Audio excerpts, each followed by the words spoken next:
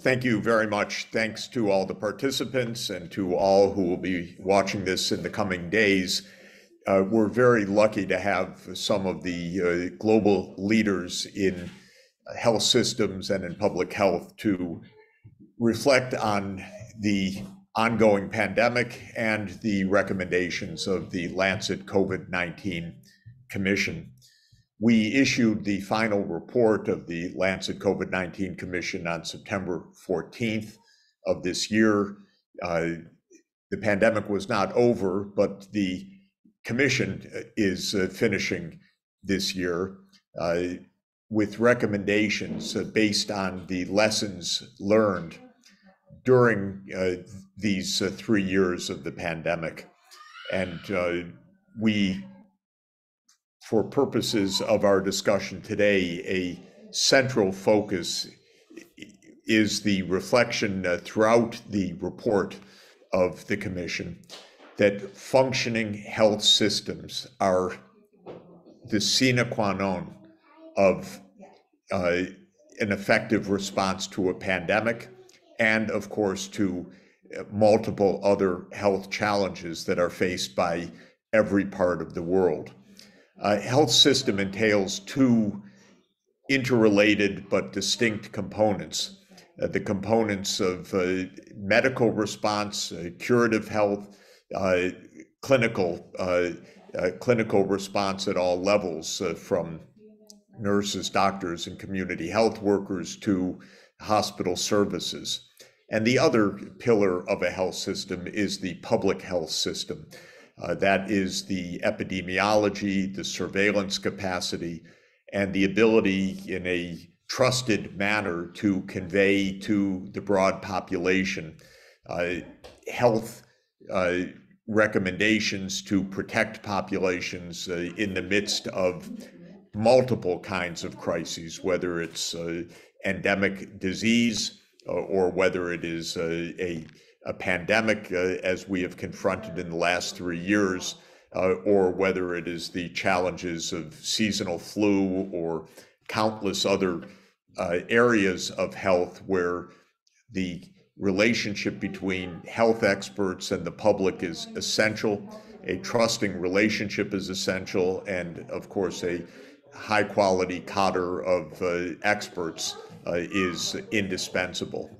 Let me review very briefly uh, core recommendations of the Lancet COVID 19 Commission with regard to health system strengthening, because our conclusion was that many parts of the world lacked one or the other of these two pillars of clinical health or of public health.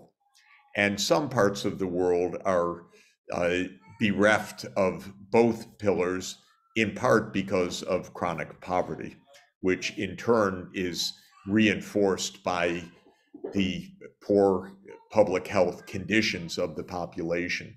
So, if you'll permit me, I'll just review briefly some of the core recommendations of the Lancet COVID 19 Commission.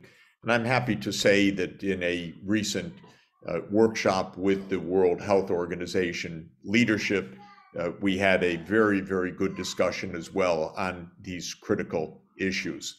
So I will uh, briefly share my screen uh, and um, let's see if I can, oops, close that and do that and go back to the beginning. So, building strong health systems, recommendations of the Lancet COVID 19 Commission. Three uh, broad recommendations that I want to highlight. First, countries should strengthen national health systems on the foundations of public health and universal health coverage, grounded in human rights and gender equality. And then we describe what these two facets of a health system, the public health system and the health coverage system entails. I won't go into the details in this brief introduction, but this uh, PowerPoint and, of course, the uh, commission report itself are available online, and this entire uh, workshop today will, of course, be taped and available online for further study. In addition to strengthening health systems, we recommend that each country should determine and expand the national pandemic preparedness plans to prevent and to respond to newly emerging infectious diseases. Sad to say, but COVID 19, of course, will not be the last of the pandemics that we face. Uh, for multiple reasons, uh, the world will continue to experience new emerging infectious diseases, and no doubt uh, some of them as dangerous and serious as the SARS CoV 2 virus, which has been afflicting us with the pandemic and which has claimed an estimated 18 million lives to date. There will be others. We could say that most countries were not prepared for this pandemic. They did not have preparedness plans in place. Uh, many, many countries were unable for a variety of reasons, all, uh, all resulting from a lack of preparedness to respond effectively to the pandemic. And that is indeed why the pandemic uh, has uh, continued with such force, with the arrival of new variants, and with such a shockingly high level of deaths worldwide. The third recommendation that I want to highlight is the financial dimension of an effective health system. Of course, for high income countries, the basic question is, uh, is choosing to use the high levels of income uh, in uh, the country in, in a propitious manner to properly fund the two pillars of the health system. For a low income country, however, this is not merely a national choice because poor countries simply do not have the public revenues that are necessary uh, to be able to maintain and sustain a proper public health system. And so, for this purpose, we recommend establishing a new global health fund that should be closely aligned with WHO. This fund should combine and expand on the operations of several existing health funds, such as the Global Fund to Fight AIDS, Tuberculosis, and Malaria, or the Global Alliance for Vaccines and Immunizations, and should include the new Pandemic Preparedness and Response Funding, which is just getting underway. And in addition to those three windows, we strongly urge a fourth window of financing, which truly does not exist properly in the world today, and that is funding for poor countries to be able to train and deploy health workers at an adequate level to maintain an effective national health system. Shockingly, there is no established mechanism for funding the health workforce that is essential for global public health. Let me very briefly uh, summarize a, a few points. Even before the pandemic, the span of life expectancy from the poor countries to the rich countries was a shocking 30 years. Even before the pandemic, the poor countries in sub Saharan Africa have life expectancies in the mid 50s, whereas the high income countries in Northern Europe and in East Asia have life expectancy in the mid 80s. This is a shocking fact because the excess deaths in the low income countries are from identifiable and preventable or treatable causes. And not only that, preventable and treatable at quite low cost. But poor countries are too poor on their own to be able to mobilize effective health systems. And one of the facets of that is simply the lack of health workers. In the poorest countries in Africa, there are two or three doctors per 100,000 population, two or three per 100,000. Whereas in the high income countries, there are five or six doctors per thousand population. So it's more than a hundred times gap between the poor countries and the rich countries in doctors per person. In terms of health expenditures, we also have a gap of a hundred times. In the low income countries, health outlays are 60 or 70 or 80 dollars per person for an entire year. Whereas in the high income countries, they are five or six or seven thousand dollars per person per year. In other words, a hundred times larger.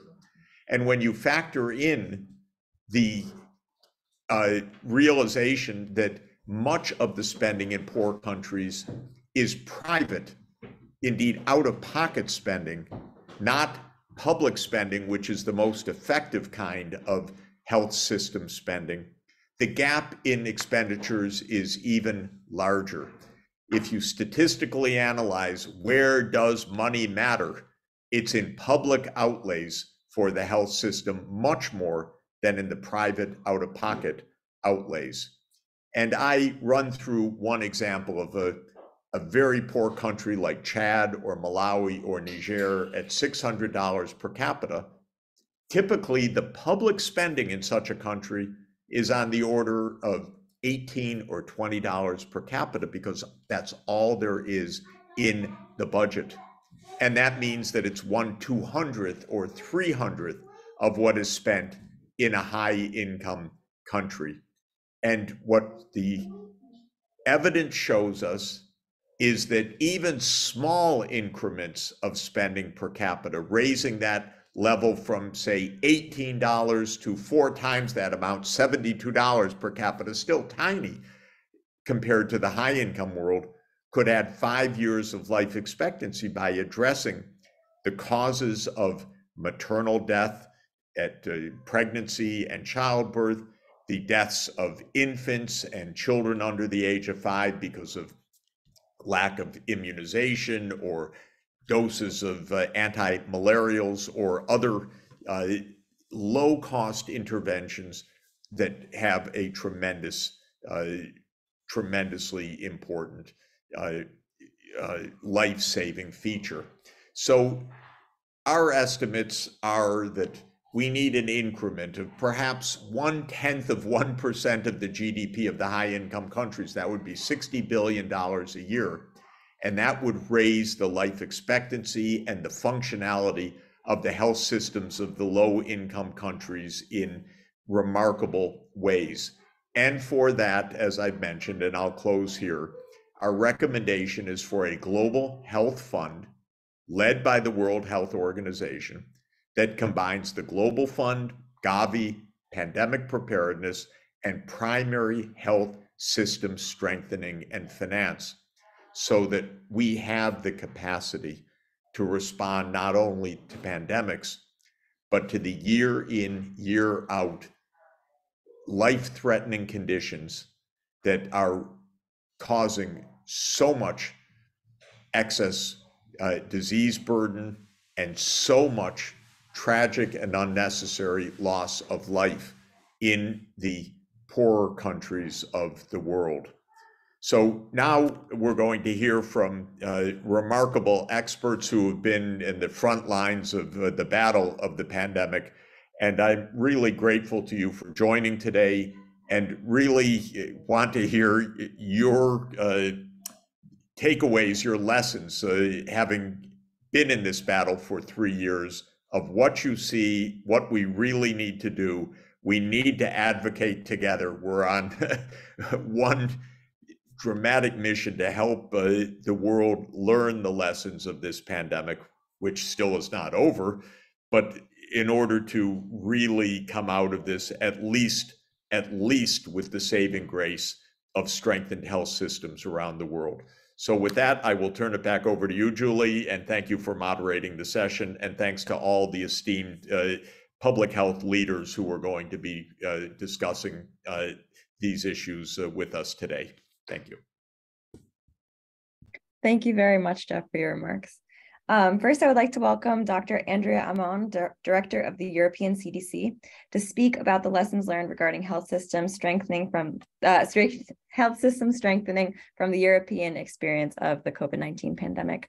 Um, Dr. Ammon has been the director of the European CDC since 2017 and brings her many years of experience in national disease surveillance and outbreak response to current and emerging infectious diseases in Germany to this webinar. Thank you very much, Dr. Ammon, for joining us. Yeah, thank you. And uh, I don't know how many time zones are assembled here. So good morning, good afternoon, good evening to everybody who listens. Um, I think it's very important um, uh, to, to look now what can we learn from this because as Professor Sachs has said, I mean, it was a, and still is, a, a devastating uh, three years that we have behind us.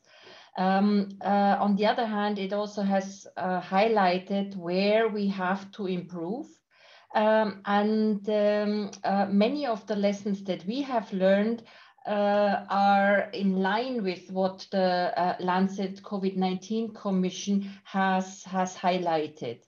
Um, just a word to uh, the European Center for Disease Prevention and Control. As um, the name says, we are uh, in charge, our core group uh, of countries in charge is the European Union, uh, characterized as high income countries. And nonetheless, we see, or even in our um, uh, region, uh, uh, a span of differences and inequities in life expectancies, in incomes, and in possibilities and capabilities. Um, so um, our, our remit is infectious diseases to identify, uh, analyze, and assess, communicate um, uh, threats from infectious diseases. And my, my, my lessons are, of course, based on, on, on, this, on this remit. So what we have um, learned is that in the future, to, to deal better with situations like this, um, we have to uh, develop preparedness that is transferable from from from uh, between different between different threats and uh, as we have seen uh, not only includes the health sector, but is multi-sectoral um, and multidisciplinary. Uh, so One Health is for, uh, written all over uh, the, the lessons that we have seen. And I think that is uh, very much in line with uh, what the Commission has, has put forward. Um, now, um, being one of the richest uh, uh, regions in the world, uh, our preparedness should have uh, shown the way in how to deal with uh, the, the, the, pandemic, but uh, the preparedness plans were not up to this. also in our region, basically every country has recognized they were not prepared. Um, and one of the big areas where we will invest in the in the in the coming years is the resilient modernization of the surveillance systems. Because uh, although uh, the data is not everything uh, everything starts from there. Um, and that is why um, uh, we we uh, uh, start now modernizing and as much as we can uh, the, the uh, European uh, system, surveillance system, but also then support the countries in um, uh, uh, transforming their systems. In terms of preparedness plans, I mean, uh, the Commission has outlined very much the, the key ingredients. for me, the learnings are a bit more specific. Um, uh, in, in, addition to the cross-sectoral preparedness um, uh, uh, plan, um, we also need to pay attention on the cross-border issues. We have many regions where people live on one side of the border and work on the other side. And we have uh, uh, witnessed very difficult situations when countries on both sides decided to do different things without any, any, any prior notice. Um, I also uh, believe that the local level needs particularly strengthening in both in the primary care and the public health because they are at, they bear the brunt. They see the first and they see the worst. Um, and without their resilience, everything else is, is, is, is, is um, uh, at, at risk. Uh, particularly uh, particular care uh, and attention should be paid to the hospital pre preparedness at all levels in terms of surge capacity for beds, but also for staffing.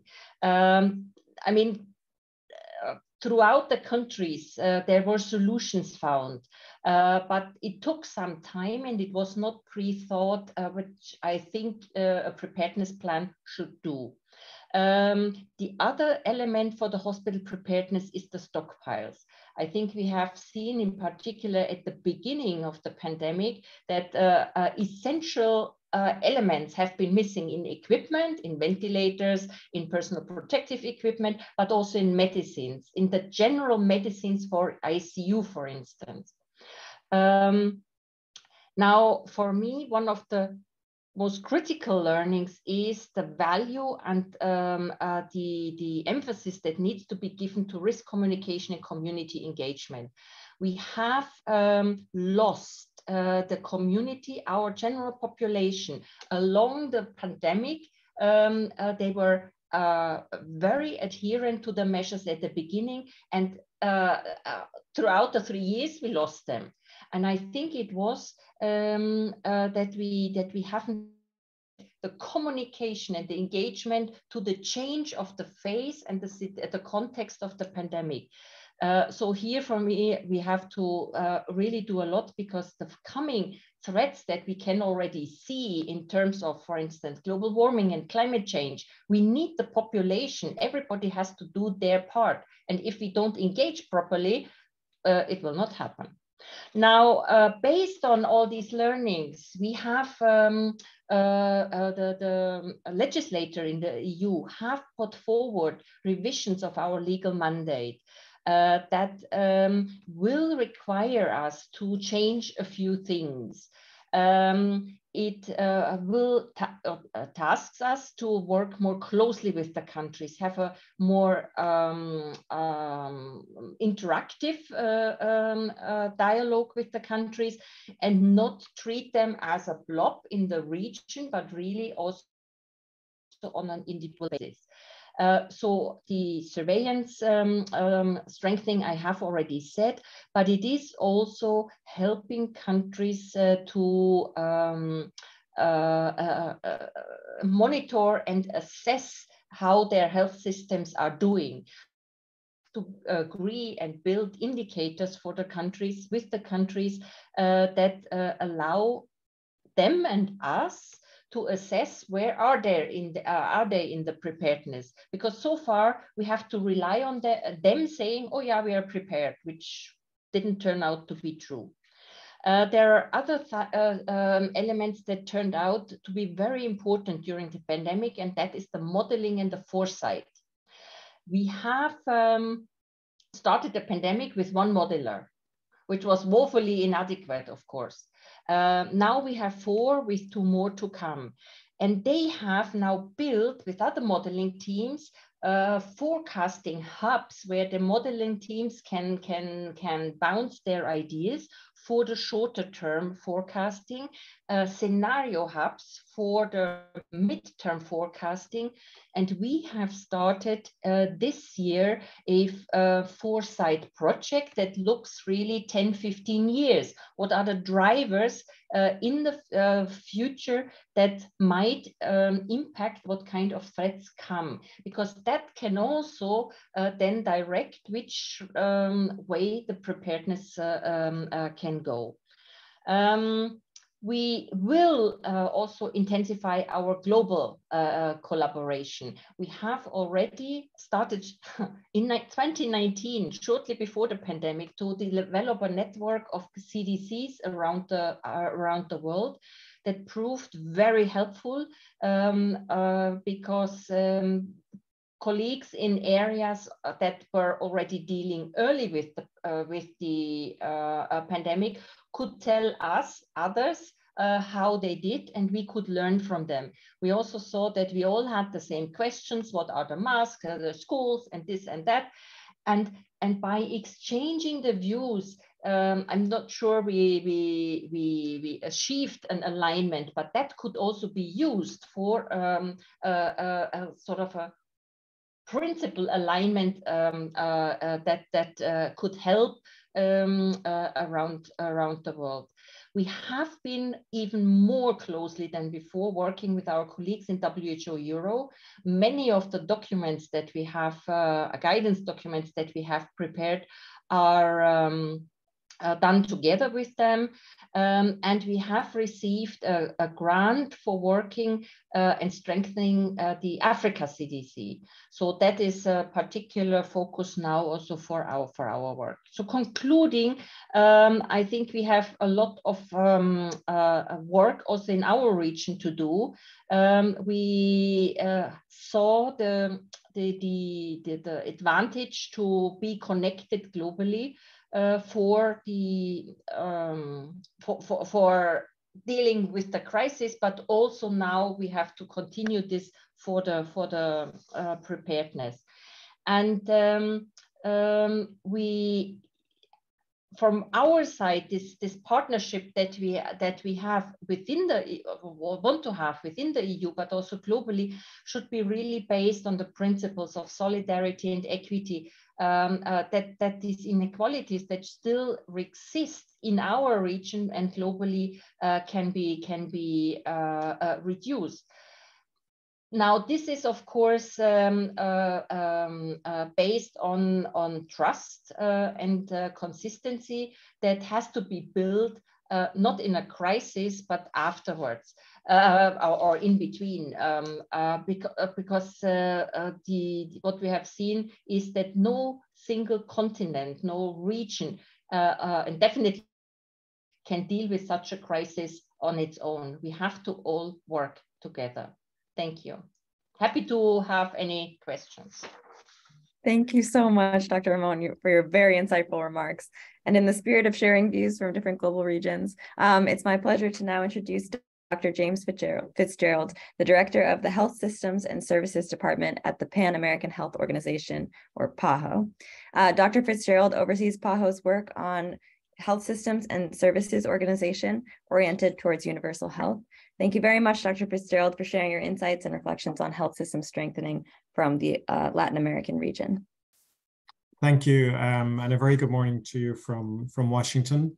Um, let me start by thanking Professor Sachs and, and, the Sustainable Development Solutions Network and the Center for Sustainable Development uh, for organizing the, the, this webinar on health systems strengthening.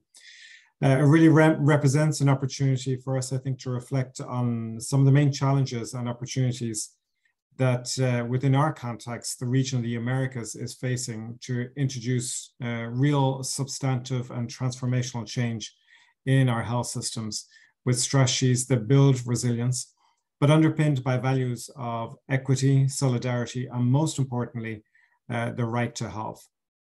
Um, we at PAHO, we welcome the recommendations of the Lancet Commission, uh, its final report, and we celebrate the global perspective and intersectoral composition of the recommendations being proposed. This is a fundamental condition to uh, develop greater resiliency in health systems, but more so to recover the lost public health gains that we've witnessed over the last three years. PAHO is playing and continues to play a, a key role in supporting our member states in responding to the global crisis in the Americas. And we are working intensively now with our countries in building sustainable and long-term strategies for the post-pandemic period.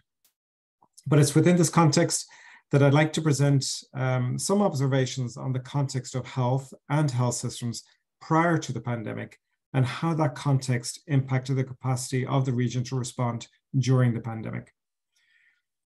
Before the COVID 19 pandemic, the region of the Americas was making steady progress towards the achievement of universal health coverage. But systemic deficiencies and inequalities persisted, and gains were overall slow.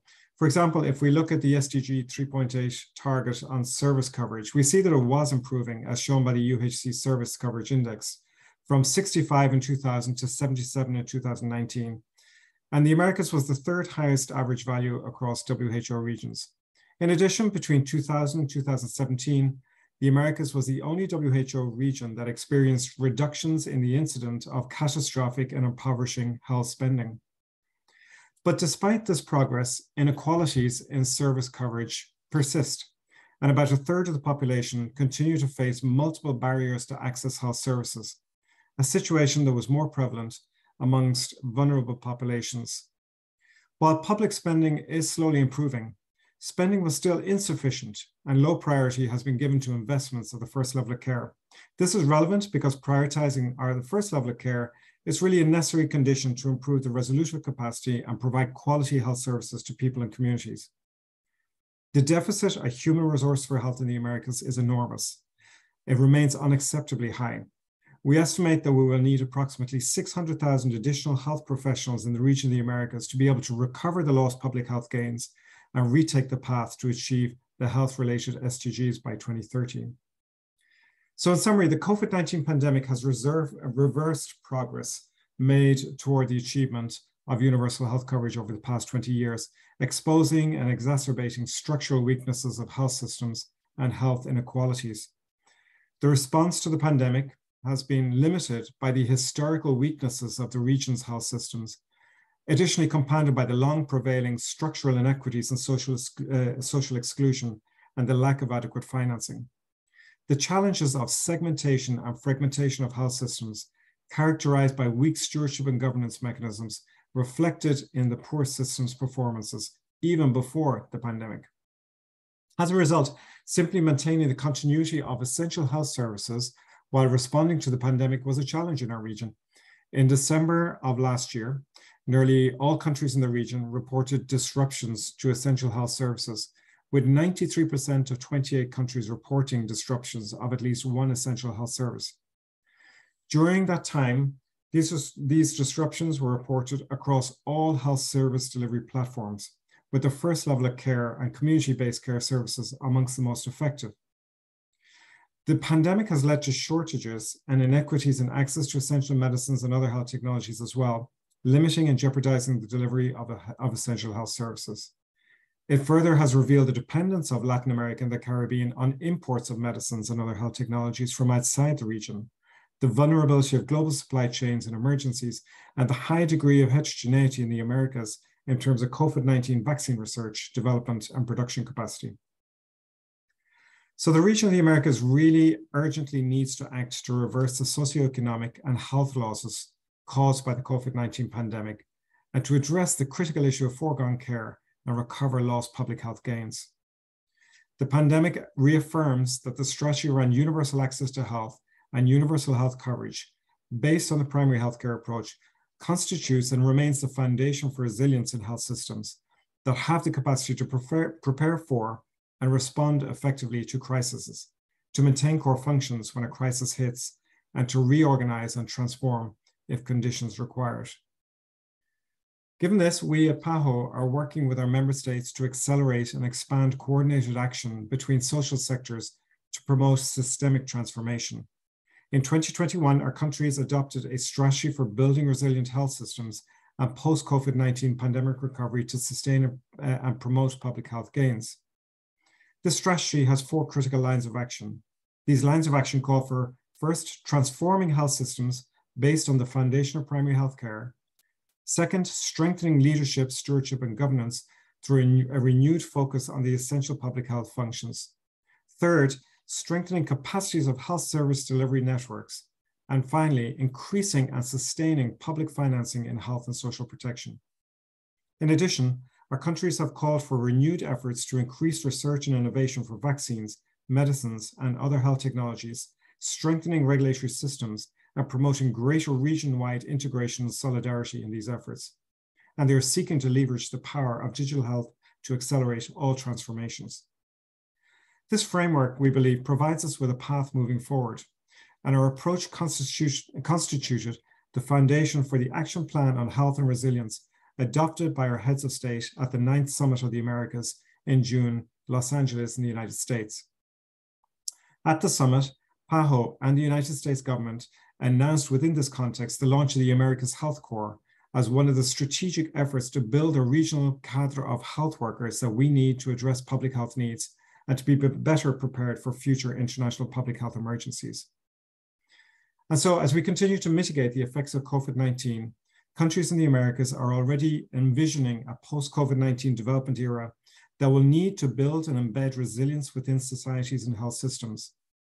Countries will need to prioritize the strengthening of health systems towards the achievement of universal access to health and universal health coverage, but of course, embedding pandemic preparedness and response as a key component. Barriers to access, fragmentation, and segmentation in health systems must be addressed through coherent policy reform and progressive integration of subsystems if the goals of the 20, 2030 Agenda for Sustainable Development are to be achieved. Thank you very much. Thank you very much, Dr. Fitzgerald, for your presentation. Next, we are very lucky to be joined by Ms. Pauline Irungu, who serves as the Global Policy and Advocacy Advisor for PATH, where she leads PATH's advocacy for equitable access to quality maternal, newborn, and child health. Previously, Ms. Irungu served as the advocacy and policy country lead for Kenya, and she brings nearly two decades of leadership in public health advocacy, policy, and engagement with governments in the African region to, to advocate for stronger policies and investments in women and children's health. Thank you for joining us. Thank you so much, and good morning, good afternoon, good evening, wherever you are. Um, so, but just to start off, let me start off by painting a picture of what has happened in Africa when COVID-19 hit. As, as we are all aware, Africa has very weak healthcare systems, whether you look at it from uh, primary healthcare or, or you look at it from um, tertiary care. One thing that stood out is how much Africa is left out of global supply chains and really stood far behind other countries and was really unable to access essential product, medical products, whether you think about PPEs or masks, it took a really long time for Africa to access um, this. Secondly, is the issue of inequities in the international health systems that were really amplified and characterized by vaccine inequity in Africa. Till date, there are many countries that have not even achieved vaccination of 2 million people um, despite having large populations. While in other parts of the world, especially in developed countries, um, people are now doing third and fourth doses of vaccine, while many Africans are standing in line waiting. The other challenge is that while Africa experienced low uh, deaths compared to other regions of the world, the impact of COVID-19 on health systems, on social development and economy remains enormous. And really issues such as gender have become, gender concerns have become more amplified. And something to note is that although the deaths that are reported are low, there are many, many missed deaths and many COVID infections that went unreported due to weak data systems on the continent. COVID-19 did erode a lot of gains that African countries had made in essential health services, whether you think about uh, reproductive maternal newborn child health care for NCDs, uh, response to other infectious diseases, those have really taken a hit. In some countries, you had a point, 10 point percentage reduction in vaccination services for children um, in, in 2020 compared to other times. So these all show how much uh, Africa has taken a huge hit due to COVID. In, in 19, if you compare 2019 and 2020, the number of zero dose children on immunization increased by a 0.6 percentage point. Um, if you look at uh, DPT1 and DPT3 on the African region. This just as an example that shows how much um, regression has happened on essential health services on a continent that's really been struggling to keep up. Um, another impact of COVID-19 was uh, the churning of resources as well as reorientation of health uh, services. When COVID-19 hit African countries, many governments changed and channeled resources to the pandemic response, leaving essential health services exposed to lack of inadequate financing. And yet these services were already struggling. An example of a country like Kenya, you had a diversion of about 9.4 million US dollars that were designed designated for primary health care being channeled to support the COVID-19 response. Although governments in African countries have devoted a lot of their limited health budgets to PHC, uh, the need exists, the funding, and therefore systems remain weak. When you think about uh, what the Lancet Commission did show, and we really allowed from a civil society perspective, from a non-governmental institution that works on public health, we allowed the efforts of the Lancet Commission in really drawing good lessons and, and enabling us as a global community in health to think about what needs to be done in the future. One really good thing that the commission did was not just to look at the health uh, system's impact, but also to think about what does this mean for economies and for social development of populations, like countries and, and regions at, large. So one lessons, some of the lessons that and observations from Africa is that COVID-19 re-emphasized the need to strengthen health systems, especially primary health care, um, alongside uh, building uh, higher levels of care. And in primary health care, worth noting is the need to really focus on strengthening preventive services as well as health promotion efforts on in different countries. These have lagged behind and largely have been left to be done through volunteer experiences. A lot of countries, like where I come from in Kenya, you have community health volunteers as opposed to community health workers. And therefore, there's a, a workforce that is ready to be deployed, ready to support our health systems, but it's expected to work on a voluntary basis. You'll have small pockets of compensation or stipends, but that doesn't work.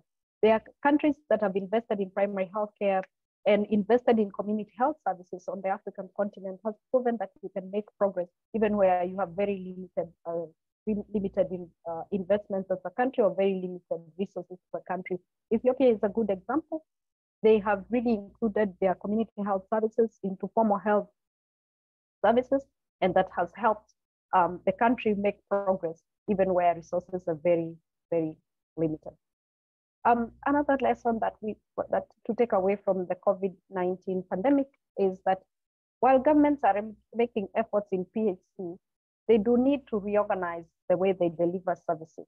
And that sort of reorganization cannot be done without engaging key strategic um, partners. And partners here don't just mean uh, within the health sector, but also include communities, include private sector, include uh, multi-stakeholders because the response to health goes beyond uh, those in the health sector. It must go to other sectors. It must embrace agriculture, food security. It must also think about they, those who deal with infrastructure for purposes of accessibility and ensuring that um, health is well supported. Because in, in, I think in previous years, African governments have looked at health as a soft investment, quote unquote, um, it was seen as that sector that doesn't really deliver for the economy.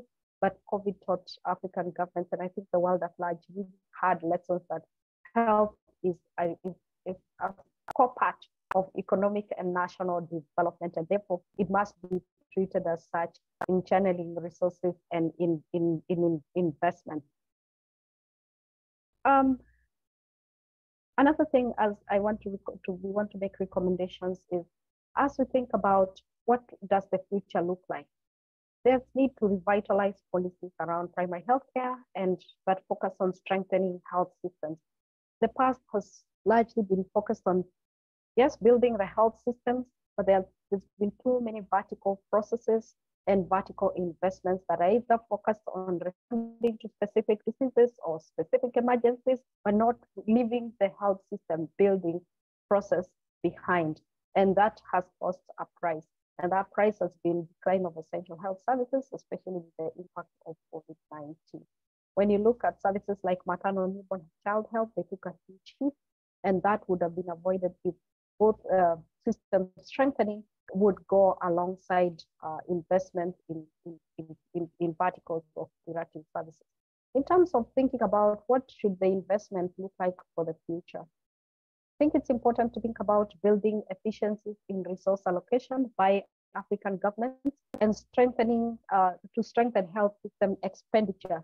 Many times you, you have budgets that are written on paper, but when you compare what is planned for against what is actually expended, you realize that there's there are major gaps. So creating efficiencies and ensuring that resource allocation and, and expenditure go hand in hand and prioritization goes to the right places.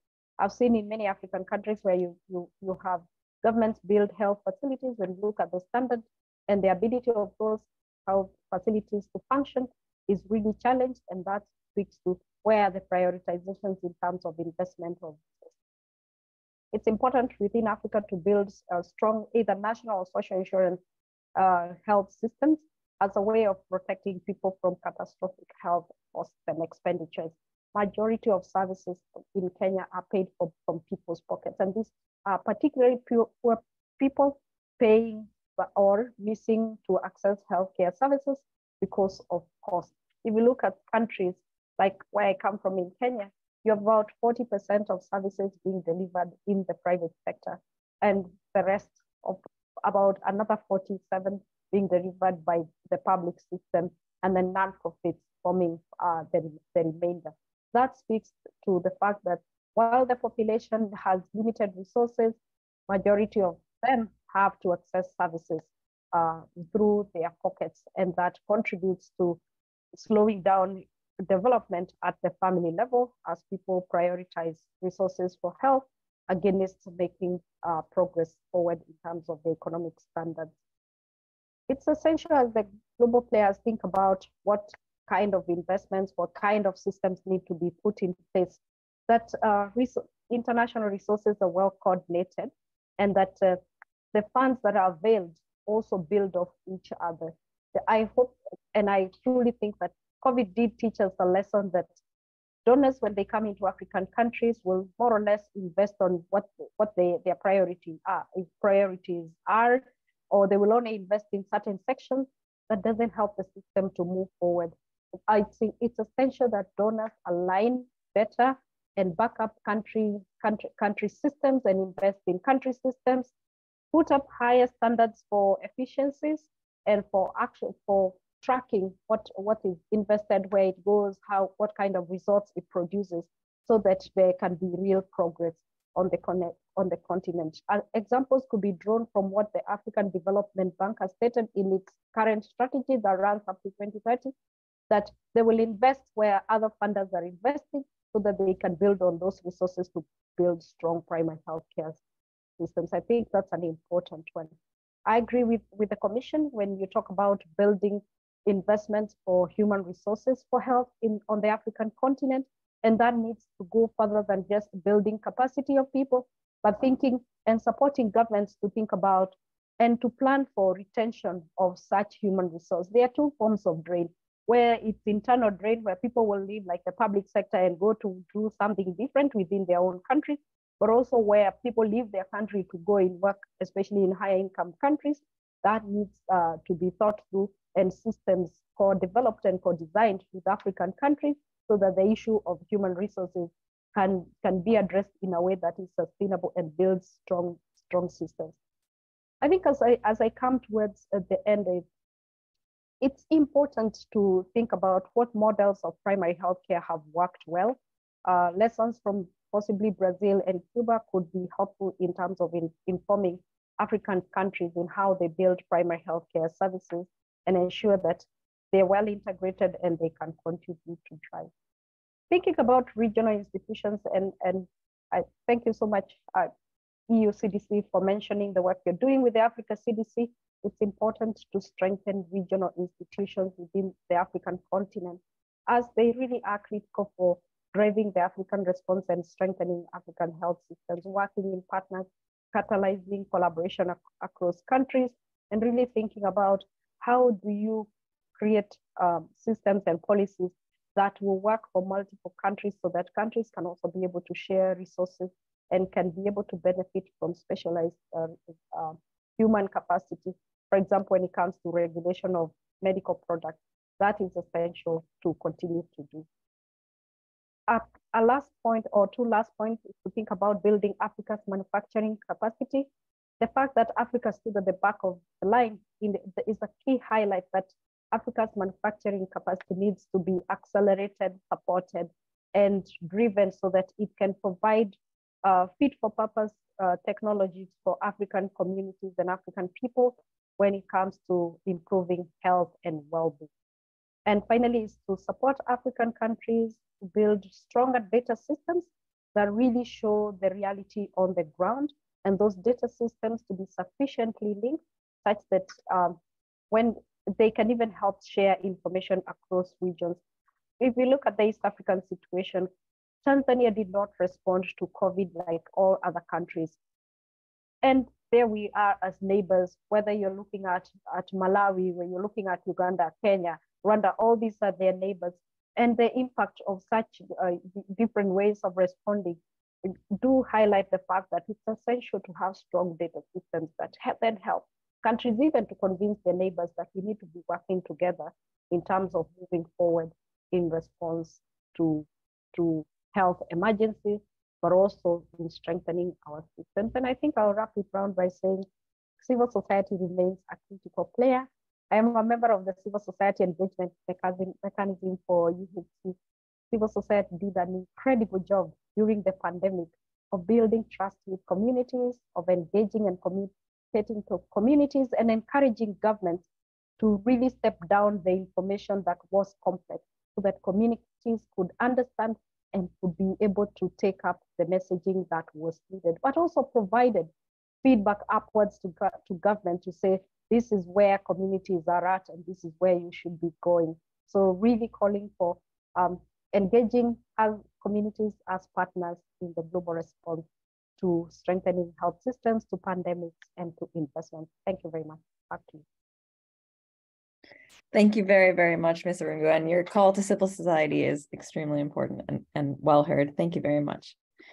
Um, next, we'll hear our final presentation is from Mr. Martin Taylor, the Director of Health Systems and Services for the WHO Western Pacific region.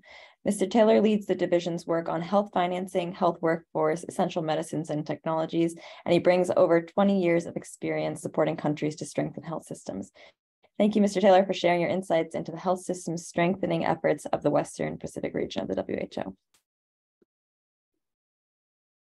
Thank you very much. And thank you very much for um, inviting me. Good morning, good afternoon, good evening, um, colleagues. And uh, first of all, a, a, huge thank you to the Sustainable Development Solutions Network for organizing this webinar. It's actually, for me, preparing for this has been fantastic in terms of casting my mind back and thinking about so much that's happened in the last few years. And, and I'd say that I think the, um, the Lancet Commission is fantastic for that, both in terms of summarizing very um, concisely a lot of what we did around the world, but also stimulating extra extra thoughts.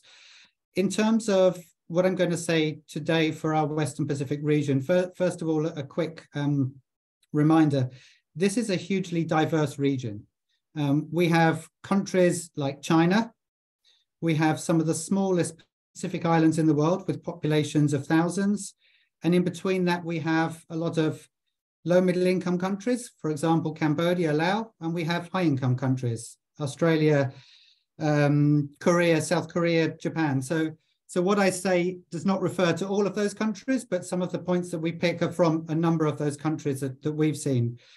Across our region, our response was broadly guided by the Asia Pacific strategy for emerging diseases and public health emergencies. And we're in the third iteration of this strategy. So member states have been using this for many years now to, to prepare. And of course, it has a lot of the basic principles in there about um, equity, about doing what we can with uh, no regrets to avoid um, preventable mortality, morbidity. Um, and of course, so, so, that's guided a lot of what, what we've seen across the region. In terms of what I'm going to share now, I've grouped my reflections under five broad categories. And what I did when thinking back was looked at some of the actions we saw that strengthened systems, hopefully systems that would be of benefit in the longer term for achieving universal health coverage. So not just for the immediate short term for the emergency, but that could have lasting impact. Um, as a pointer for some of the things that went well, but also some of the areas where I feel that we missed opportunities um, and where there's a huge amount still to do. So five broad categories. First of all, this one is a really basic level one, but I think it's important to say. a number of countries in our region went into this pandemic without some of the basic equipment that they needed. Um, oxygen supplies, um, PCR testing, um, laboratory capacity. And if you're a Pacific Island country with one intensive care unit and you don't have the capacity or the oxygen supplies there, you only need one case for your ICU to become overwhelmed and you have a problem preventing mortality. So I think that's an important point to note is that there's quite a lot of basic equipment that has been supplied to countries that is not just relevant for COVID, but for their longer term um, healthcare delivery and of course for future outbreaks. Secondly, moving up slightly in the scale, facilities and operational preparedness and management.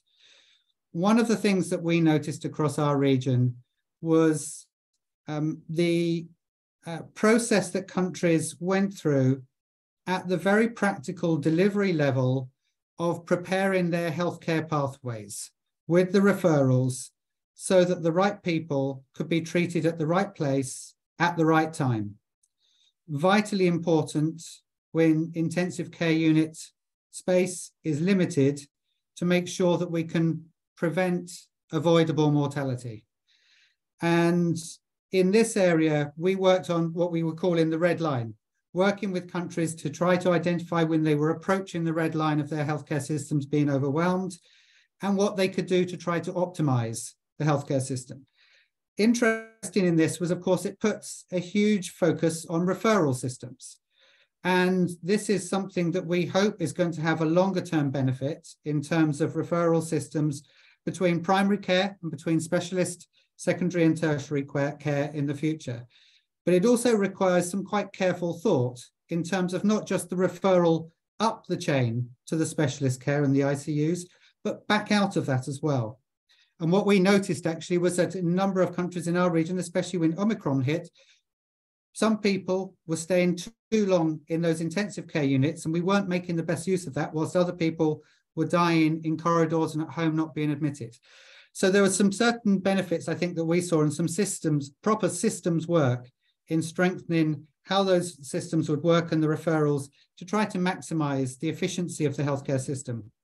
Alongside that, of course, was work around infection prevention control, um, operational planning at, at a, a subnational level in terms of identifying your priority facilities, the use of digital tools, and of course, the planning for the ongoing delivery of other essential health services. All vital and very subnational, a lot of it. Next, I turn to some of the kind of behind the scenes systems work that was essential to make some of this frontline service delivery effective. Firstly, I think some of our unsung heroes in our region, those who work on the national regulatory authorities to make sure that new vaccines were available, licensed, regulated, and available in the country as soon as they could possibly be. And this is a huge challenge when you have stretch regulators um, without the capacity and the capability in their countries, especially the case in many of our Pacific Island countries. A huge amount of work was done, and there was a lot of solidarity between regulators in the region, sharing the dossiers, sharing their information to be able to make sure that those vaccines could be available quickly. Um, another, another set of our unsung heroes, the legislators who had to work to update um, public health emergency legislation, the kind of legislation that outlines under what circumstances people can be asked to stay at home and who has the power authority to do that, what triggers that, and how long that can be done for.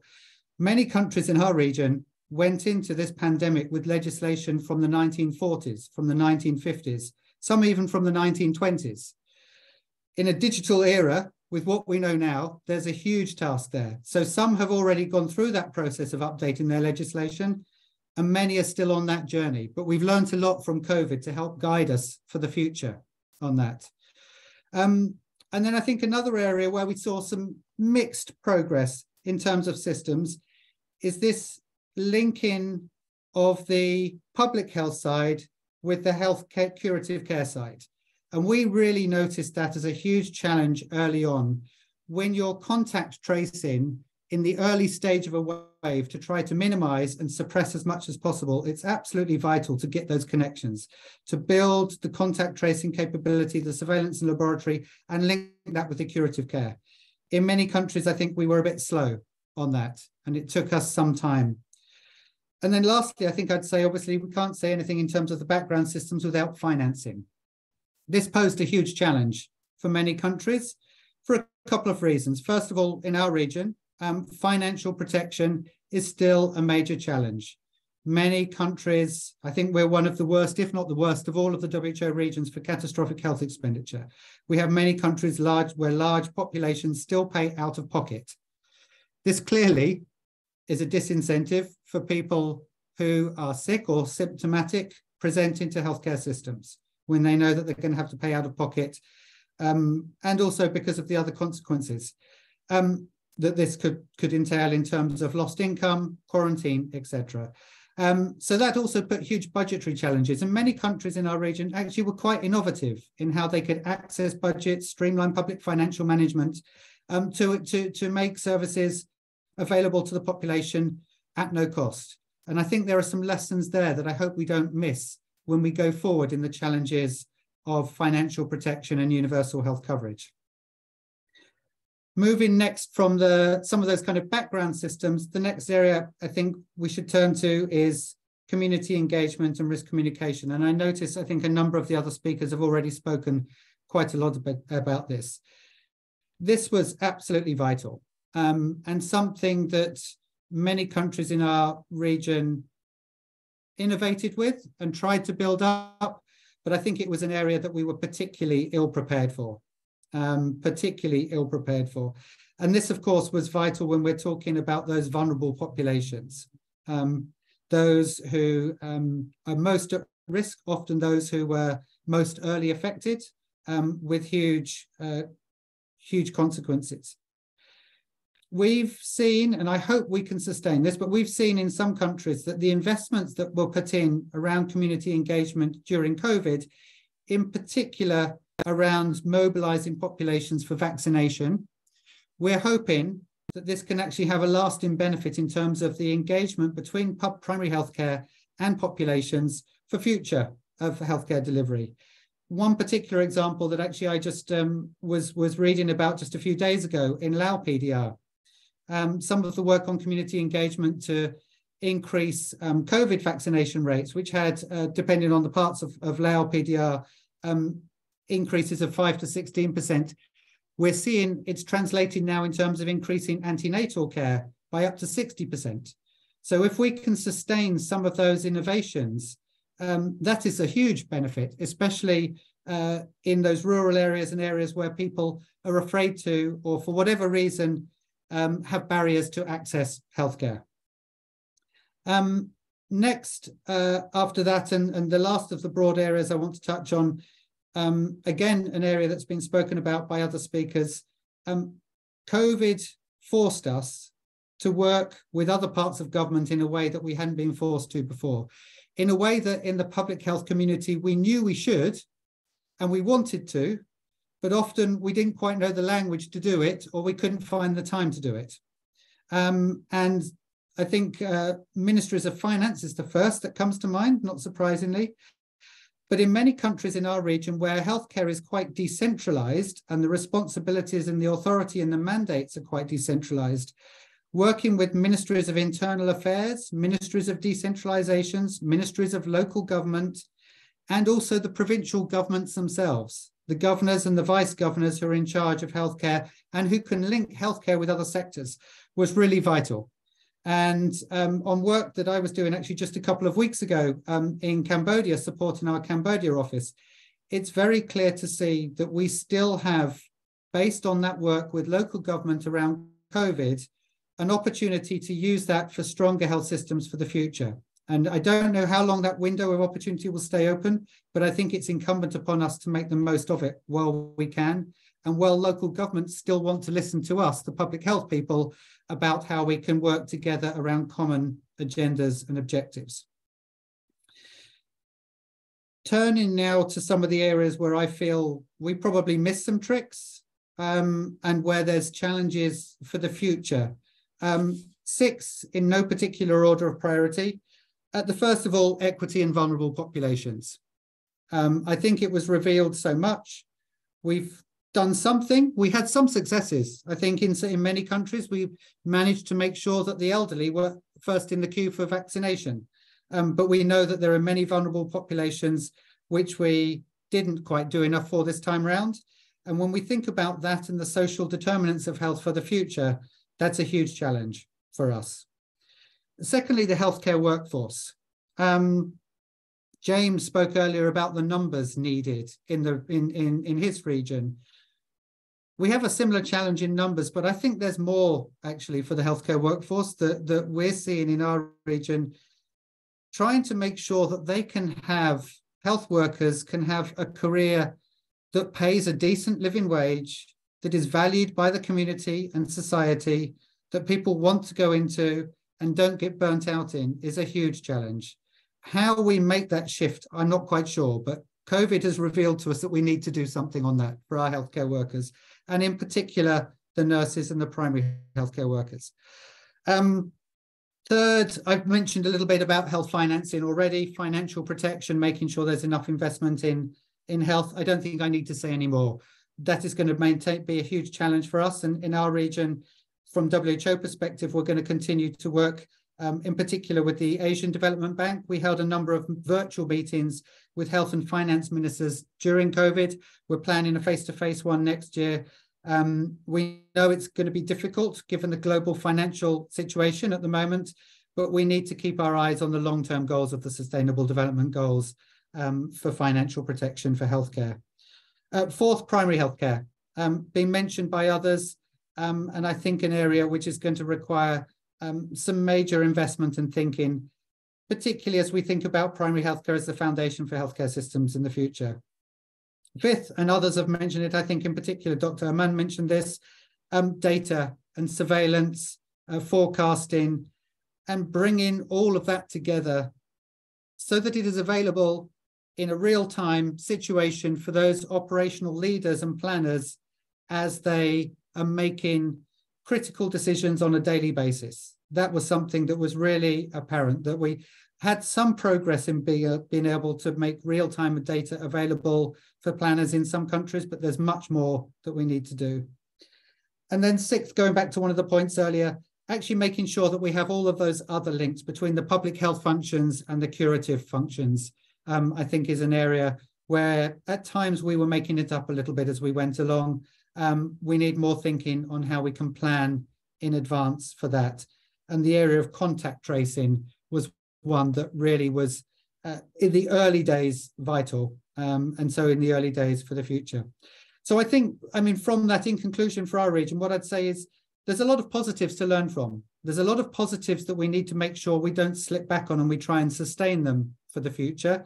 But there are still some fundamental challenges there. And as we think about trying to get back on track for the sustainable development goals and for universal health coverage in our region, when we try to get back on track in terms of building healthcare systems that are based on the foundations of primary healthcare, can deliver universal health coverage and the public health functions. Um, there's a lot to do, but there's a lot to build on. And uh, certainly across our region, um, I think what we're seeing at the moment is that we still have the energy for that. The political windows are changing in different countries, but there's still an energy in the public health community, which we may, need to tap into to make the most of it in the coming, coming months and years ahead. So thank you very much. And I'm looking very much forward to the discussion and the questions.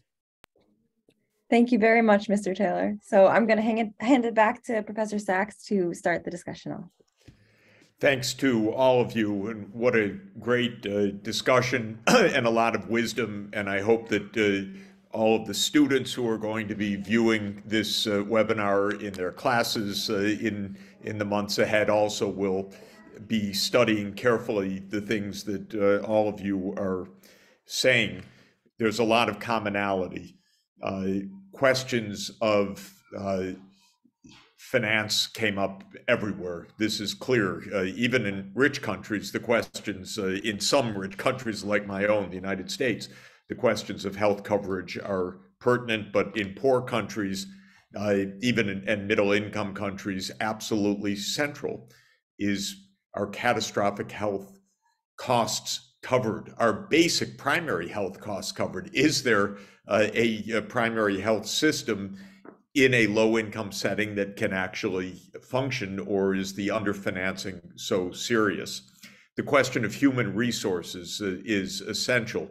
Uh, and uh, thank you for the observations of, that many of you made about the quality of work, decent compensation, uh, and as uh, Pauline said, compensation, period. Because why is it that the community health workers in Africa who do heroic work, and I've watched uh, in person, face to face, why is this a voluntary sector? Uh, of course, uh, it's it's heroic that it is, but this is a skilled workforce that's absolutely essential and needs to be on a proper payroll.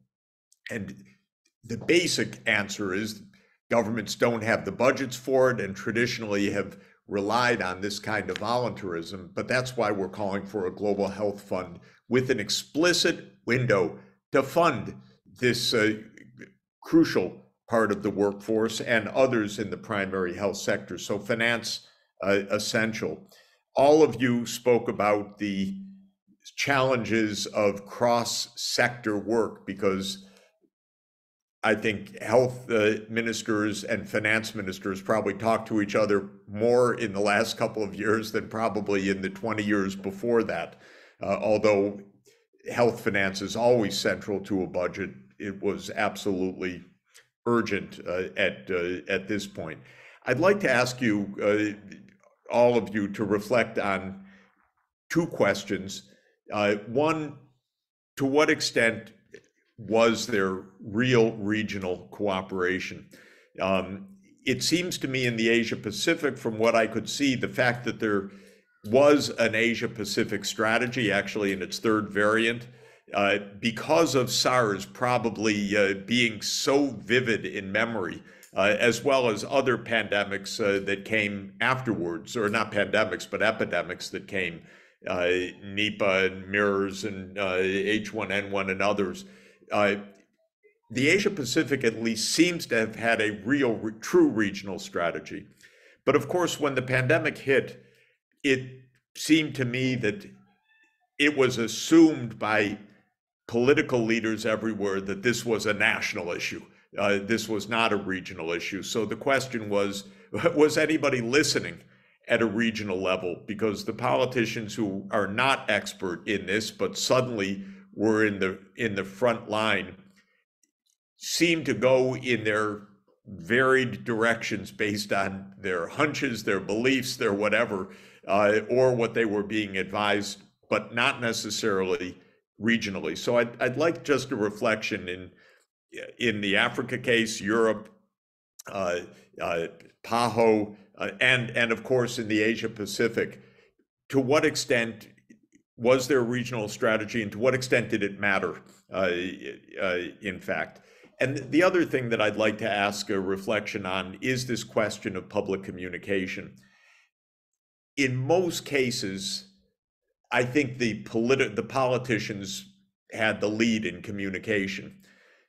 What they knew or didn't know about public health really varied. We saw a lot of strange cases, uh, a lot of uh, politicians that fed so much misinformation or so much confusion. What do we do about this? Uh, and how do we build the communications trust? Because really, it's one of the lessons of this. Uh, I am a fan. I've long been a believer in this. Uh, I think you wear uh, face masks when you have an ongoing pandemic, but even that became a, a absolutely most contested battleground of this pandemic, partly because of the communications issues. People didn't understand it. In the US, we were first told, don't wear them, then do wear them. It, it was, it really was a confusion. Um, and uh, I'd just like your reflection on how to build the trust really on an operational basis and how to, in, in a crisis, how are we going to do better in in that communications challenge. So I, I know there are a lot of other questions uh, in in in the queue, but uh, those are the ones that I would uh, like to start with. Uh, again, remembering that we're going to have lots of students and policymakers and others viewing this uh, for months to come.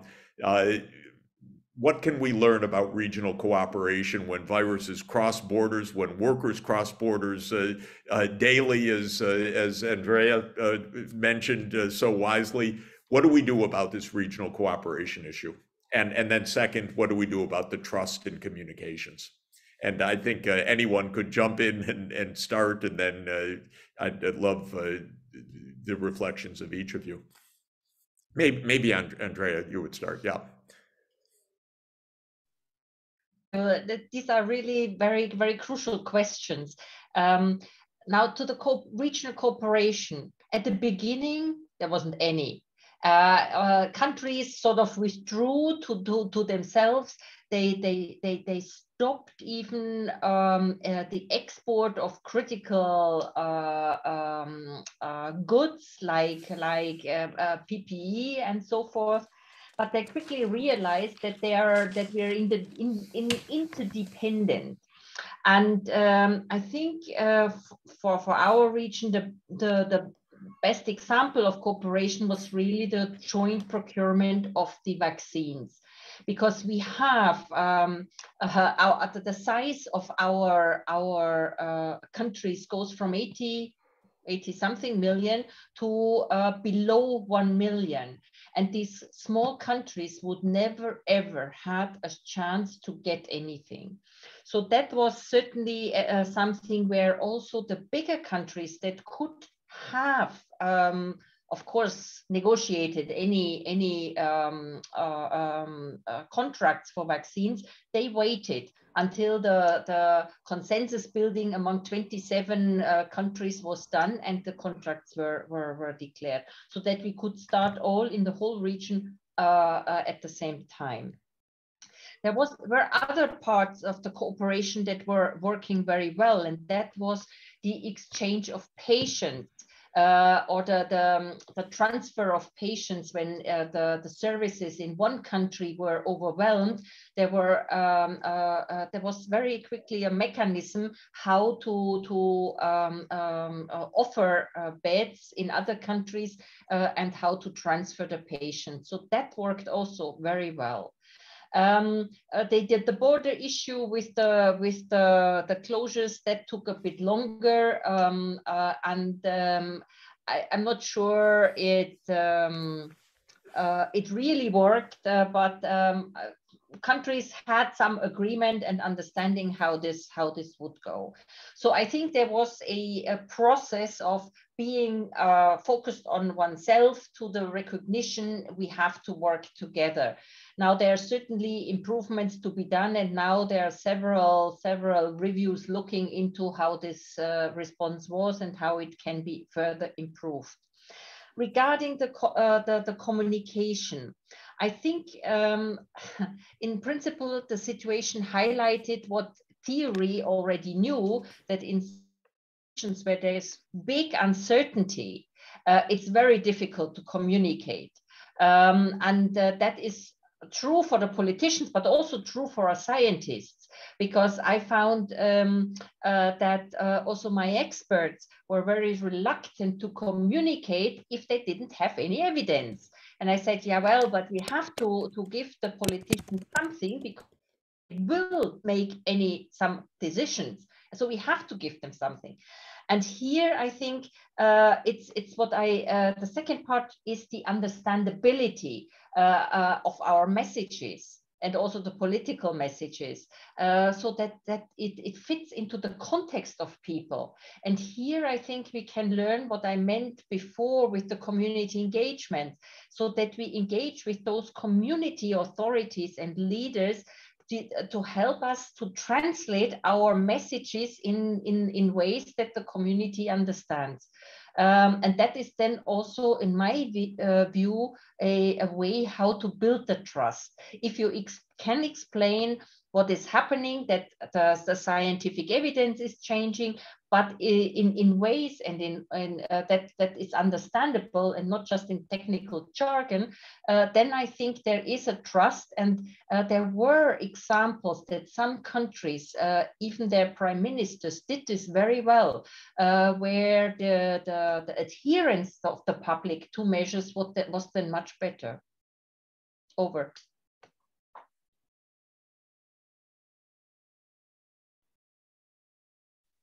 Oops, sorry, I'm on mute. The uh, the endless mistake. Um, uh, thank you very much. Uh, maybe Pauline, uh, you could uh, reflect on the Africa CDC and and uh, what kind of cooperation you found and and should be promoted.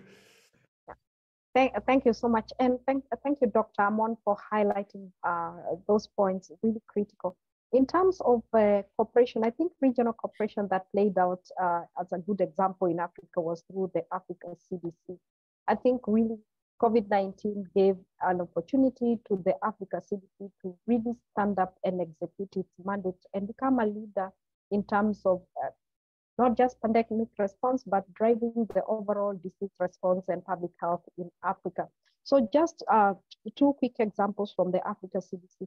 The establishment of the Africa Vaccine Acquisition Task Team was really critical in bringing together African countries to think about and plan for how to access vaccines together as a regional, you know, as a, as a region. And that has helped countries access vaccines in ways that would not have been possible if they were not negotiating as individual countries. Um, the, the second part, and not, and not just getting access to vaccines, but also thinking about when countries have excess or vaccines are just about to expire, what, what do you do? How do you reroute and channel them? So that's that's really been a, a, a major outcome and a good outcome out of uh, this this whole COVID pandemic. There's the second piece for to the Africa CDC is the CDC hosted regular dialogues to think about critical topics and to engage players from across the African continent particularly from governments and, and lead agencies to, to discuss, share lessons, explore what could be done and what isn't working, what has worked well. And, and those lessons have been really important in terms of moving the response to the pandemic forward. The third piece is the Africa CDC now established uh, a conference on public health in Africa that enables uh, Africans to come together, also bring in international partners to discuss uh, public health issues in Africa in a very targeted and structured way. That conference the, the, is the first physical one will take place in Rwanda coming week. So I hope uh, a lot of us will find ourselves there. And I think it's a really important space for the, for the African continent to ask itself, what do we do, do about our public health concerns? Because the continent has a history of being, you know, plagued by various diseases, various epidemics. Um, on now a rising concern of non-communicable diseases. How do we address all this as Africans and have a response that works for the citizens of Africa? I think linked to that is um, also the issue of work, accelerating work for regulatory uh, system strengthening for medical products in Africa. It's been an initiative that's been running for years and it's been a slow process. But I think COVID-19 provided an impetus for people to really focus and say, Africa does need to strengthen its regulatory systems. We cannot do it as individual countries to as much as we would love to, but it makes sense for us to work together as institutions. So a lot of countries have now come in and signed on what they call the Africa Medicines Agency. It's at a level where it really is, is good to go. And the location for, for, for hosting is already in place. It will be hosted by Rwanda, the government of Rwanda. And those are outcomes that has come, that has stemmed out of cooperation on the continent. And finally, for the for cooperation is uh, the dialogue and steps towards building Africa's manufacturing capacity. And I think uh, Dr. Ammon, the EU CDC, is working very closely with, with, with Africa CDC to build manufacturing uh, uh the, the, the, to build systems that enable Africa to, to do manufacturing. I think a, a, a, a step that, you know, COVID came with a lot of challenges, but there are some good things that happened out of it. When PPEs were really difficult to access from, uh, eh, from importation, African companies stood up and started manufacturing masks. So now you see really good quality masks that are coming out of African uh, industry. And similarly, uh, you know, products like syringes that have supported uh, African countries to be able to deliver vaccines. So all these are coming out of the need to take care of our people, but recognizing that there are certain hindrances that have been in place, and this is an opportunity for manufacturing in Africa to move to really move forward. And maybe just a quick comment on building public um, trust in communications. I think I'll, I'll, I'll pull an example from Kenya and, and, and many other countries like Uganda. Public communications was, was not just driven by political leaders, but I think in Kenya, the, the political leaders stepped back and allowed technical leaders within the ministries of health to communicate consistently to communities. So two things, technical leaders with the right knowledge and information communicating communities and then the consistency of communication. Many times in, i think in previous years we've had like start stop but i think that start stop creates opportunity for filling the gap when there is the stop. The consistency with covid was amazing. Of course there were some uh, messages that you know were counterproductive but uh, largely people took the messages seriously and listened to government there's there's much more trust in government messages in public health now than I think than we've had in the past. There was also a lot of innovation around uh, public communication, some old methods where people would go around the, the rural areas, especially the estates with gramophones and you know, talk to people. It's important for you to take one, two, three steps, wear your mask, wash your hands, you know, do this and that to prevent COVID. But also when it came to, to vaccines, there's been a lot of public communications using the regular methods that you know somehow had gotten discarded that that would say there'll be a vaccination center in Point X. I think my first vaccine that I took, if I had that message on a on, on somebody who went around estates and said, we'll set up a center at X point. So now you don't have to go to the main facility. You can come to this center and people queued up in those centers to, to get their, their vaccinations. And I think also leveraging technology. One thing we, we did as an, an organization, allow me to speak about this, uh, was to set up um, the, the, the Director General of Health in Kenya came to us and said, I need a communications person and communications support. I need to communicate better to communicate and communities and use technologies. And we set up what we called hashtag ask the DG, and this was a Twitter handle that enabled the DG to dedicate one hour every week to answering questions from, from people generally. So people would post, where can I get my, my COVID test? What do I need to do? Do masks work? Do vaccines, um, from, what are the side effects? All these critical questions. And the DG was very consistent working with a technical team behind him in responding to these questions on, on, on, a, on a weekly basis. He built a lot of traffic and a lot of trust that he's accessible. He can respond to technical questions, even if they're coming from anybody in the country, and combine that with with Facebook messaging that then would provide additional information.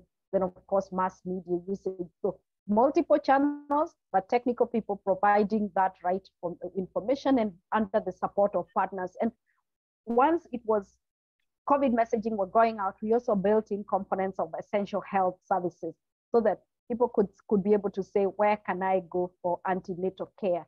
Facilities are largely closed. Where should I go? And that was, was being answered. So these are some ways that are really important for communicating and building public trust. So I think let me pause there and thank you very much.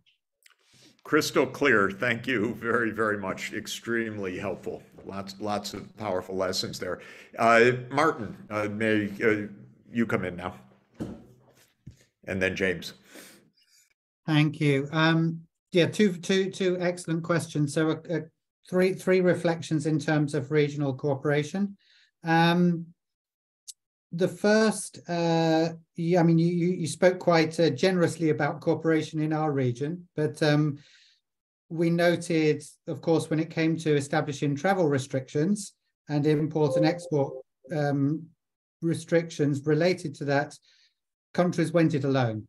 Um, so at that kind of political level, those decisions were make, made quickly and in isolation. What we did see, though, was um, I think a lot of, of regional cooperation at the clinical and the scientific and the technical level um, between experts in their fields. Um, and that uh, was certainly the case very early on as um, scientists were sharing as we were learning more about the virus and the uh, how it presented and how the disease uh, presented and progressed in, in population. So there was a lot of that early on. Um, and it and it and it continued. Um, I mentioned also uh, uh, earlier the kind of the regulatory authority um, solidarity across our region, particularly in the small island states in the Pacific. Um, the third area I'd note, of course, was, and maybe we call this sub-regional even, um, countries, some of the larger countries in the region um, supporting the Pacific Island countries who were very isolated, had little purchasing power, um, so whether we're talking about essential medicine, uh, sorry, emergency medical teams going to those countries, um, provision of PPE, sharing of vaccines. So there was that kind of sub-regional, bilateral, or to a number of countries across the region um, cooperation that was extremely important for those Pacific Island countries, extremely important in their response. Um, on uh, public communication, I think, I mean, I, I agree a lot with what's been said by Dr. Ammon and, and, and Pauline already, so I, I won't repeat that. I mean, uh, two points to, to highlight. Um, one, when we're thinking about communication, it's vitally important to do the listening, to do the listening at what's being said on shared on social media, um, in, in other platforms, to understand where your populations are, to help segment and think about the different audiences. Um, and we certainly expanded within WHO, but I think a number of countries in our region did, our listening capability throughout the course of the, um, the pandemic. In particular, when we're dealing, for example, with vaccine hesitancy, to be able to distinguish the different categories of vaccine hesitance because they're not all the same. Um, and something can be done on that. And then the, the, the second point, um, uh, who, who has influence? Um, Pauline touched, I think, on the, the vital importance of civil society in that in that regard. But who do populations listen to? And then building alliances with who the populations listen to. Who do the population trust? Um, was vitally important. Thank you. Back over to you. Excellent. Thank you so much. And uh, to James for uh, the Americas. Yeah, thanks. Thanks very much, Professor Sachs. And, and just to really complement what, what others have said, I think, you know, uh, the issue of cooperation, um, solidarity, um, it's a mixed bag, um, I think, in the Americas. Um, you know, we, we have, we've seen some good experiences um, through countries coming together once a month, ministers of health convening once a month through PAHO to discuss the current context, get updates, uh, weekly briefings, um, sharing of, of uh, surveillance data. Uh, these are all, I think, very good experiences. Uh, another good experience I think that we saw was how um, the external relations um, uh, sectors within, within the countries really mobilized and worked collectively in some areas, taking this issue of uh, particularly access to uh, PPEs, diagnostics, and vaccines to a whole other level. This was all led not by ministries of health, but in particular by the departments of, of foreign affairs or their equivalents in countries. Um, this raised it to a whole other discussion, a whole other level of discussion uh, within obviously the UN system with WHO and, and bilaterally amongst uh, countries. So I think that that in itself was a good experience. Um, I think the the somewhat um, somewhat negative aspects relates relates to the fact that everybody is you know it was a zero sum game at the at, at the beginning everybody is scurrying for the same uh, products of limited availability the closure of um, um, the closure of borders. Um, the I, I, was, you know, we have been somewhat, um, um, I think, positively critical, if I can put it that way, of the mechanisms that have been established uh, through the consortiums at the global level uh, to ensure the supply of, um, of equipment and diagnostics, um, the considerations around equity uh, in the decision making of some of those mechanisms, and how many countries in the Americas really felt that they were left behind, not just in the allocation frameworks, but also subsequently in, in decisions uh, relating to the distribution of vaccines through COVAX um, as a consequence of, I think, unilateral decisions that were taken also by the pharmaceutical industry. Um, we refer here to, I think, decisions where um, perhaps uh, bilateral uh, bilateral agreements were favored as opposed to um, commitments to COVAX, which ultimately meant that those that really needed vaccines um, didn't get them. Um, so this is a real concern, I think, for, for countries uh, in the region, and, and, we're very aware, and we're working with them. Because as you know, we have the, the true revolving fund mechanisms at PAHO, um, the vaccine revolving fund that supplies over a billion dollars of vaccines for priority programs to, to, um, to our countries, and then the strategic fund for medicines, and, and, and both were very active and, and really grew. One other area I think um, of very good cooperation related to um, the educational and digital, digital educational um, sharing of information and, and, and, the platforms that were utilized. Um, we saw an exponential growth in demand for state-of-the-art knowledge, um, clinical guidance, um, uh, patient management, through uh, digital uh, platforms. Uh, and we ourselves at the PAHO Virtual Campus, um, with now over 2 million health workers um, participating actively in, in, um, in courses within the platform. And, and we delivered um, through, you know, during the pandemic uh, to over 1 million health workers, 26 different courses on COVID-19. Um, and so this was really a, a, success story that we believe um, uh, can be replicated also in other regions. And it's a very good and positive, um, I think, initiative to, to converge uh, technical guidance around care and treatment and management within the context of health emergencies while reaching directly into health services. And I think this is something to look at.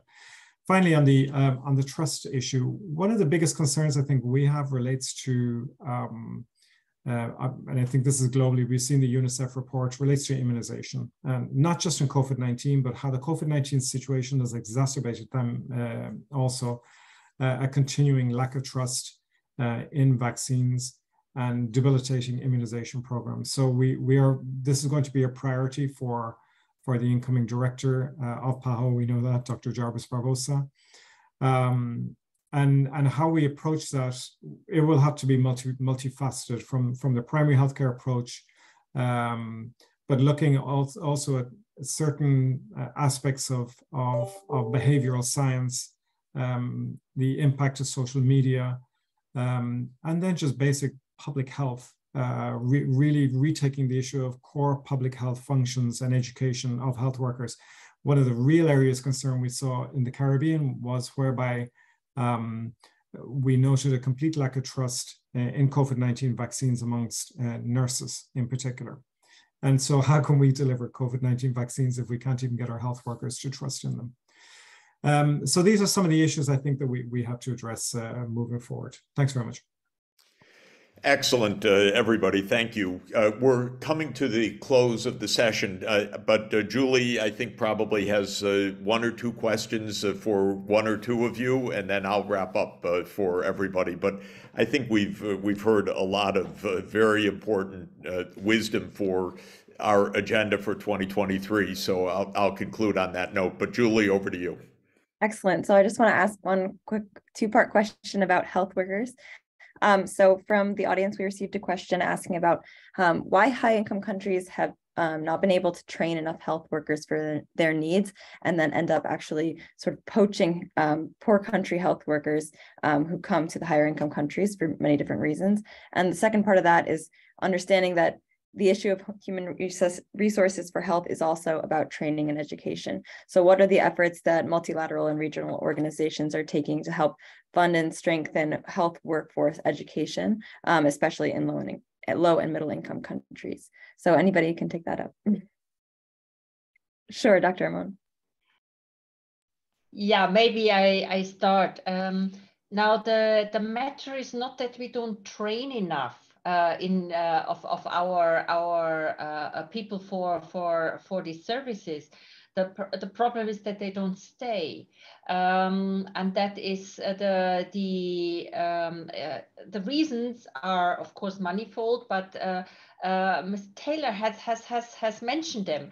They see that um, health care workers, especially nurses, especially in long-term care facilities, um, but even more in public health, because public health in the healthcare sector is really the lowest part. Um, uh, they, they, they don't have a career. They often can, cannot uh, uh, even do a living, uh, uh, make a living uh, in some countries.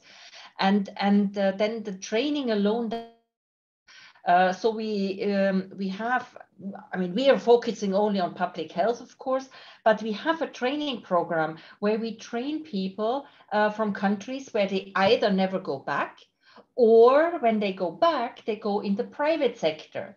Um, where they got to get a lot more money. So in the end, uh, the training uh, does, didn't help. So here I think it's really something beyond what we as a public health uh, institution can do. It's the salary structure and the revision of the whole whole system of uh, where these um, uh, professions are placed.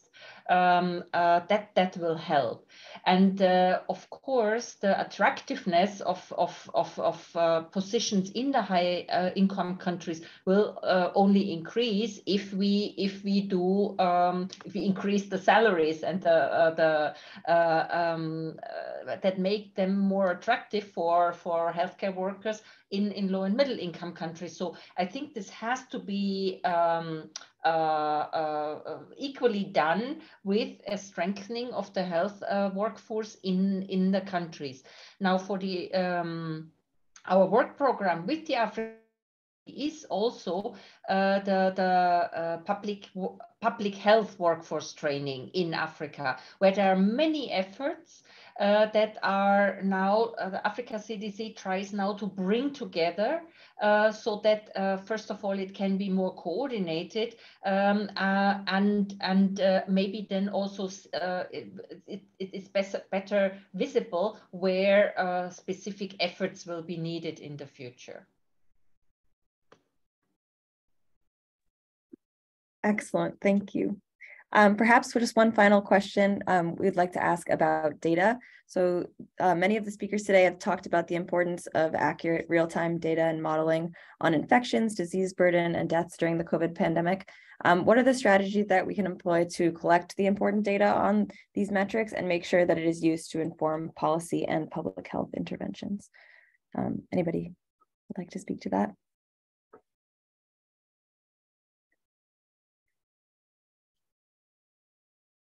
Please, Mr. Taylor.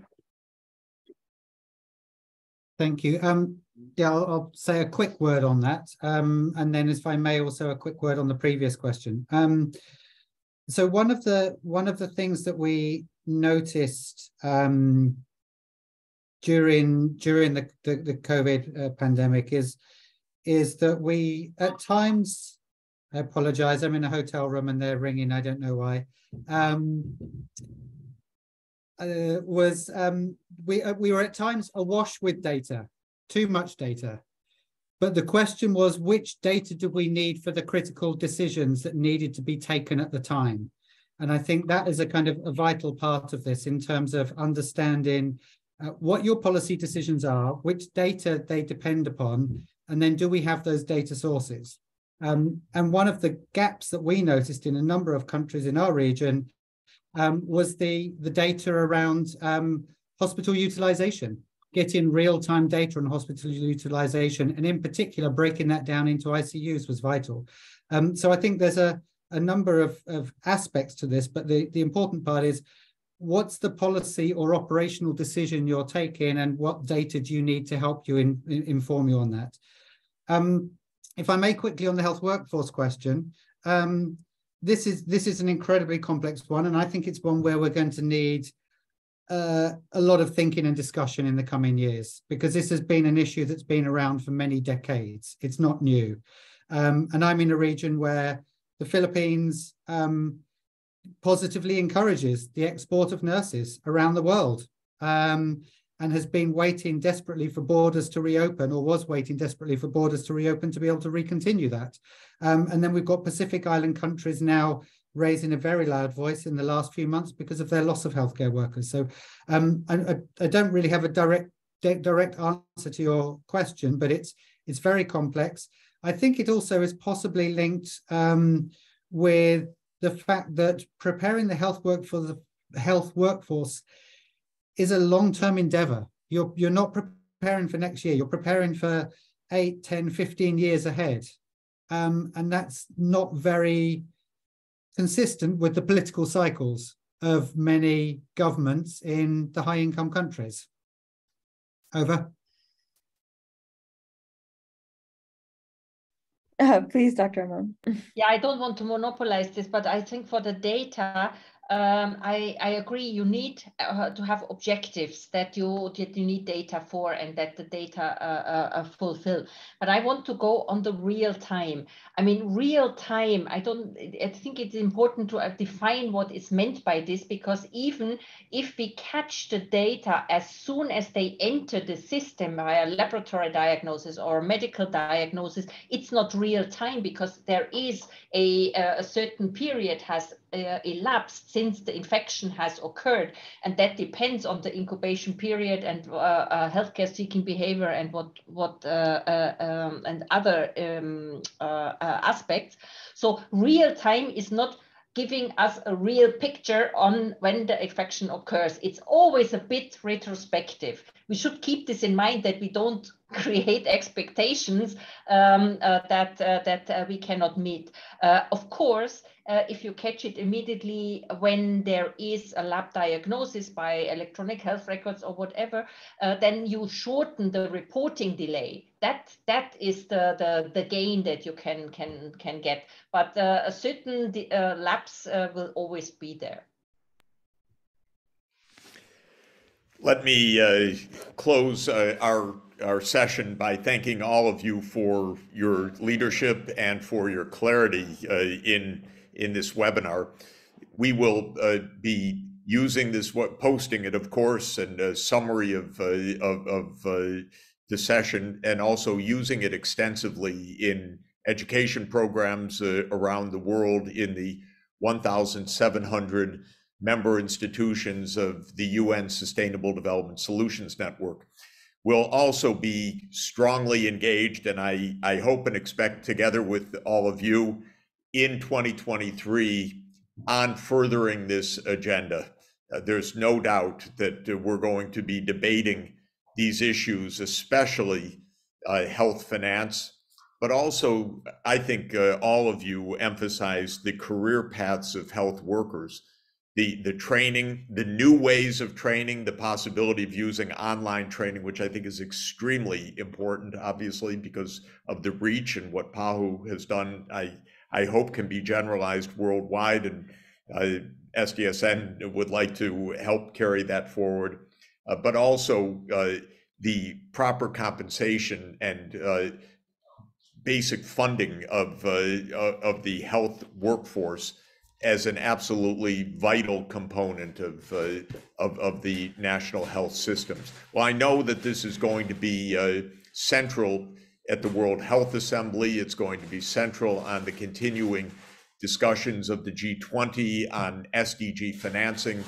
The uh, preparedness funding is still being mobilized, but I, I hope will be mobilized in a much broader context uh, than it has been discussed so far, rather than a standalone fund as part of this bigger uh, picture. And all that you've added in insights to this, I think will will very much support that cause. So let me uh, give uh, thanks to all of you, thanks to the participants, uh, and thanks to all the students who are going to be learning from this in, in the months ahead. Uh, my gratitude to the team at the UN Sustainable Development Solutions Network for facilitating this webinar, and let me wish uh, everybody uh, a good day and very happy holidays and a very happy and healthy 2023. Thank you so much. Thank you. Thank you. Bye-bye. Bye-bye. Bye- Thank Bye-bye. you. Bye bye.